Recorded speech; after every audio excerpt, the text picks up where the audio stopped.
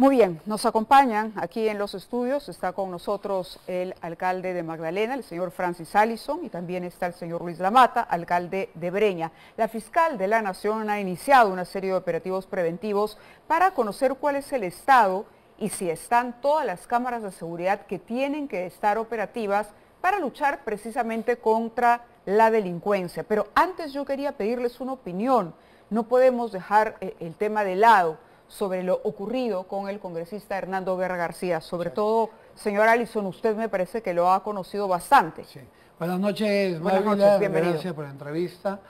Inicio mis palabras obviamente lamentando lo sucedido. Me quedé realmente impactado cuando leí la noticia. Y lamentar no solamente la muerte de un buen hombre, sino la, la pérdida de una vida más que se pudo salvar. O sea, es un caso más y eso ahora pues que Perú tome en serio las cosas. ¿no? La pandemia fue eh, un momento que se descubrió las graves falencias en salud. Pero no aprendimos la lección por muy dolorosa que haya sido. No hemos aprendido absolutamente nada. Y quiero obviamente mandar mis condolencias a la familia, no solamente a la consanguínea, sino a toda la familia de Fuerza Popular, que están todos muy afligidos. Y eso es lo interesante.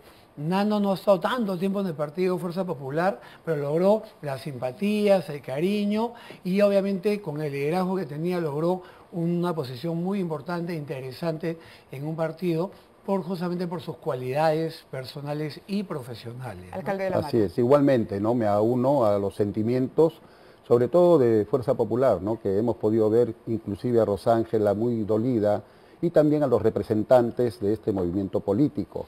Sobre todo hemos tenido también algunas conversaciones con Nano en el Congreso junto con el congresista Cabero en un proyecto de ley que él presentó con referencia a minimizar prácticamente la fiscalización administrativa en las municipalidades. Y él fue un gran defensor, por lo menos en ese momento, y hasta de repente, hasta hace poco, en el sentido propio de que él más pregonaba el que los emprendedores tengan mayores facilidades y evitar abusos de algunas municipalidades.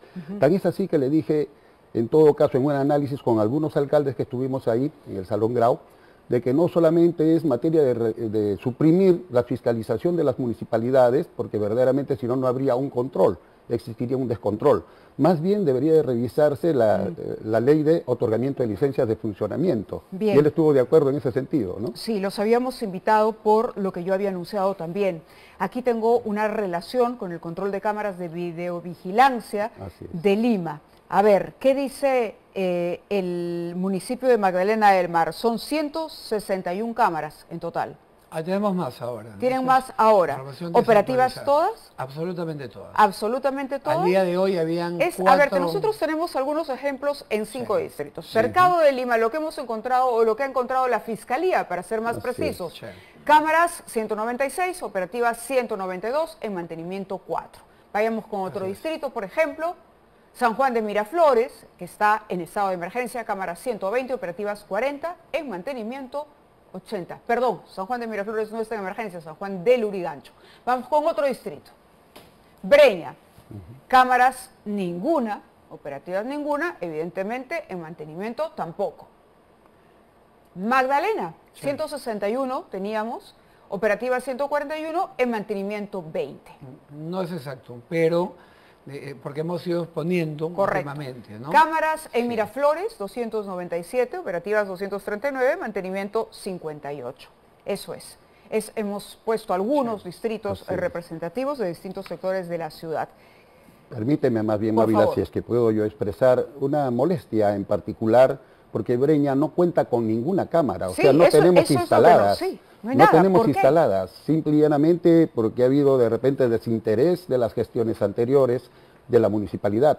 Tan es así que en el año 2018 contamos con una donación de una empresa de 12 cámaras de videovigilancia. Desde noviembre del 2018 la gestión anterior tampoco las instaló. Nosotros iniciamos desde enero a febrero, a pesar de la situación financiera que es una crisis en mi distrito, tenemos 202 millones de deudas Aparte, mi Foncomún está... Pero es un tema de recursos, diría usted, sí, más que nada de recursos. ¿No hay dinero para comprar cámaras? No, no se puede porque es todo un proyecto integral. Estamos ya propiciando ya un, un proyecto integral de 6.120.000 soles para un centro de comunicaciones para 120 cámaras de videovigilancia. ¿Qué población tiene su distrito? 86 mil y 12 mil a 13 mil extranjeros. Sobrepasamos las 100 mil personas. A ver, alcalde Allison, usted, sin embargo, está en el otro lado. Usted dice que incluso ha mejorado las cifras que nosotros mencionamos y mostramos aquí. Claro, solamente este año hemos eh, convertido la zona comercial de Magdalena en la zona comercial mejor biovigilada de Perú. Hay una cámara con fibra óptica en cada esquina de la zona comercial. 16 cámaras biovigiladas. ¿Y, coinciden que es un tema de recursos? Sí, bueno, obviamente en mi gestión, en estos años, eh, antes hemos puesto cámaras y ahora nuevamente hemos comenzado. Esto de la zona comercial es de este año. Este año hemos ya implementado lo que se llama paraderos seguros. Todos los paraderos de Avenida Brasil, todos tienen videovigilancia. Tercero, estamos en plena ejecución de lo que conocemos y llamamos en Magdalena colegios seguros. Videovigilancia, cámaras en todos los colegios para, eh, eh, para cuidar con esa vigilancia la hora de entrada y de salida de, los colegios. escuchemos a la fiscal, si me permiten, y luego continuamos con sus comentarios. Esto es lo que dijo Patricia Benavides. Como sabemos, las grabaciones que se realizan en estas cámaras de biovigilancia son fundamentales para las investigaciones que realizan los fiscales para determinar la responsabilidad en los delitos.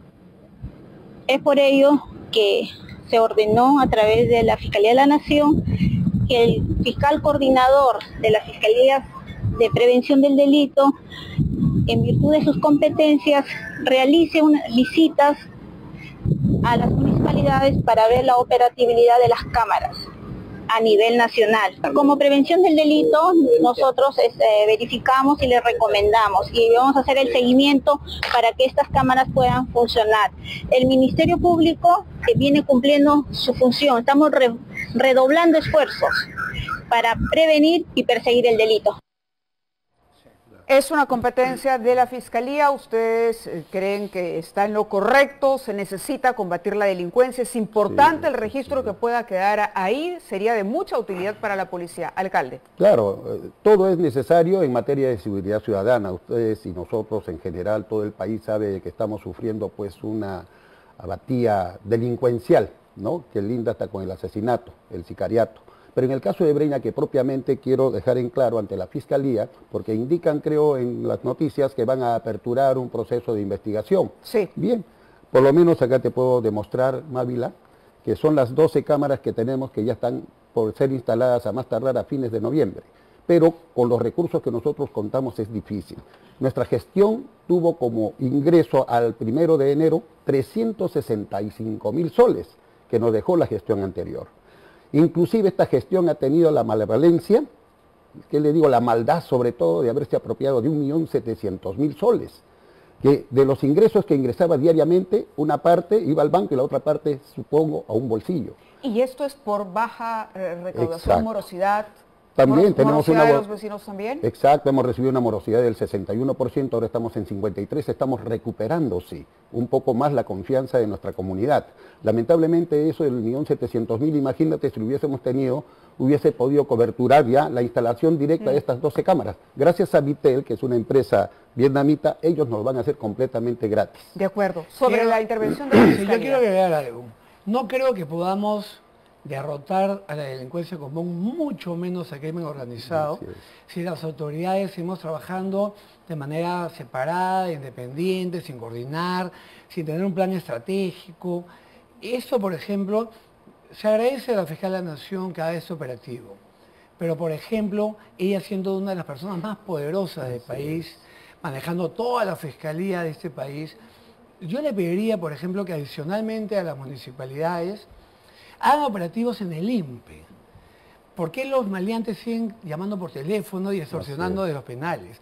Que haga y que investigue qué está pasando en la fiscalía, en los turnos, con estos casos donde los fiscales liberan maleantes sin ninguna justificación y con los jueces que también lo hacen. ¿Qué pasa en realidad en un país donde claramente se está permitiendo todo esto, en parte porque por años se ha abandonado la inversión y la inteligencia y la investigación, pero también por la corrupción. Lo repito, muchos delincuentes siguen en la calle porque fiscales y jueces malos los sueltan. ¿Coinciden eso?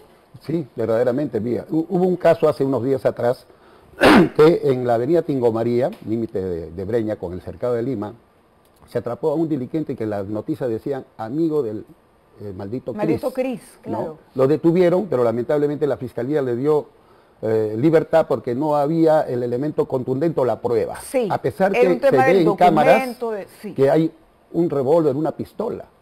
¿no? no sé si habrá tenido pues licencia la persona, ¿no? pero imagínense a ese extremo a veces llegamos. ¿no? Entonces la ciudadanía está muy creo firmemente que nos falta coordinar como autoridades, entender que tenemos un enemigo común, que todos los peruanos tenemos que juntarnos contra ese enemigo, que la presidenta tiene que liderar esa lucha ella. Aunque, le hayan sacado, aunque por ley la hayan sacado de CONASEC, ella tiene que tomar ese lugar de liderazgo apoyar a la policía. Por ejemplo, la doctora eh, fiscal de la Nación ve que hay municipios, no Magdalena, porque estamos perfectos, y cada vez ponemos, esta semana hemos puesto tres cámaras más, pero hablemos de Perú. ¿Quién tiene graves problemas? El propio Ministerio del Interior. Como dije hace un momento, 46% de la flota malograda vehicular.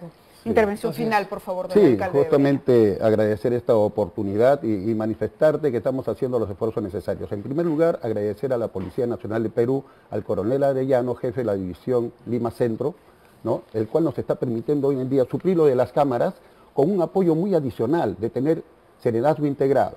Hoy para poder contar con un policía en una unidad de serenazgo debemos de comprar su franco entre 160 a 170 soles. Él por lo menos nos brinda para 8 unidades de 3 a 11 de la noche gratuitamente personal de policía. Igualmente en las mañanas, uno en cada comisaría, de 7 de la mañana a 1 de la tarde. Con eso se está tratando de poder minimizar. Pero también un gran problema, y discúlpame que me extiendo un poquitito, el Metro 2, que pasa por medio de Breña, también nos está causando estragos delincuenciales. Entonces a la ATU ya le hemos requerido que ellos mismos puedan poner vigilantes en esa zona porque son amplios socavones de un metro, un metro veinte hasta un metro cincuenta, donde los vecinos tienen que pasar. Y como hay un cerramiento, lamentablemente muchos estudiantes en la noche y muchos vecinos también, para ingresar de un lado a otro de Breña, son asaltados. Entiendo. Quiero agregar algo.